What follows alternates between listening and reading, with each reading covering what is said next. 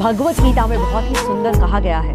कि इस दुनिया में कोई भी इंसान अगर दुखी है तो तुम लंबे समय तक खुश नहीं रह सकते अगर औरों को खुशियाँ बांटोगे तो तुम्हारे जीवन में खुशियाँ अपने आप आएगी और मैं तो कहती हूँ आज के इस दुनिया में किसी के चेहरे पे स्माइल ले आना वो भी एक बहुत बड़ा आध्यात्मिक काम है कहते हैं एक उदास चेहरे पे एक प्यारी सी मुस्कुराहट आ जाए और अगर उसकी वजह तुम हो तो समझ लेना इस दुनिया का सबसे धनवान इंसान